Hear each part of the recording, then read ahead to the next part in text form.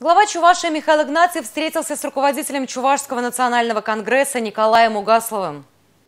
Николай Угаслов буквально на днях был вновь выбран президентом общественной организации «Чувашский национальный конгресс». Его кандидатуру поддержало абсолютное большинство делегатов юбилейного 10-го съезда ЧНК. Глава Чуваши отметил, что впереди еще много дел. Вместе с единомышленниками-земляками, живущими в разных уголках нашей страны, надо объединить усилия по сохранению аутентичности чувашского народа.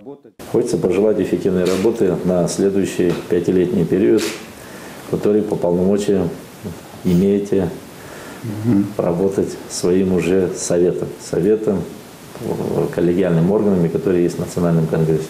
Общественная работа – это работа не одного человека, работа – это коллектива, работа – это команда, и работа – это вашей команды прежде всего. Мы делаем с вами общее дело. Надо сказать о том, что сегодня для работы условия созданы, сегодня и законы, и общая политика нашего государства – позволяет работать эффективно. На встрече обсудили вопросы укрепления межнационального согласия в республике и сохранения чувашского языка как главного отличия любого этноса.